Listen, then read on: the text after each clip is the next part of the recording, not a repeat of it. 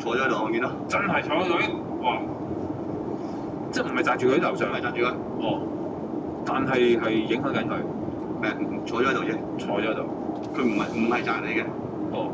咁坐咗喺度做咩？執咩相嘅？睇嗰。個平嘢。冇啊，佢坐咗喺度嘅啫。咁但係所以俾鬼執，佢唔一定係坐上去壓，所以呢個俾鬼執唔係喎，俾佢執係會壓。真係會咁樣壓？係啊，因為佢坐喺隔離。